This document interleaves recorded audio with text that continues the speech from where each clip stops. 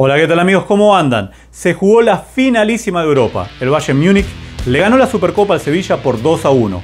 El Sevilla llegó hasta acá habiéndole ganado la Europa League al Inter de Milán por 3 a 2, mientras que el Bayern le ganó la Champions League al PSG por 1 a 0.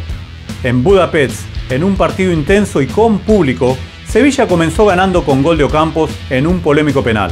Goretzka el empate con un golazo que bajó Lewandowski demostrando toda su calidad y en tiempo suplementario Javi Martínez de cabeza el 2 a 1 final para que el Bayern alce su segunda copa demostrando quién manda en Europa.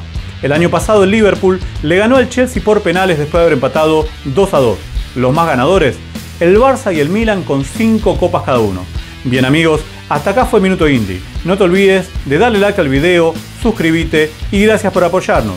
Yo soy Mariano Bastida y nos vemos la próxima. Chao.